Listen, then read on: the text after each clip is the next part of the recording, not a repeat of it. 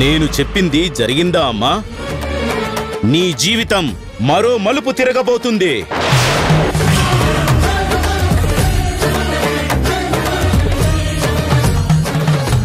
కలిసిందాం రా సోమవారం నుంచి శనివారం వరకు సాయంత్రం ఆరు గంటలకు.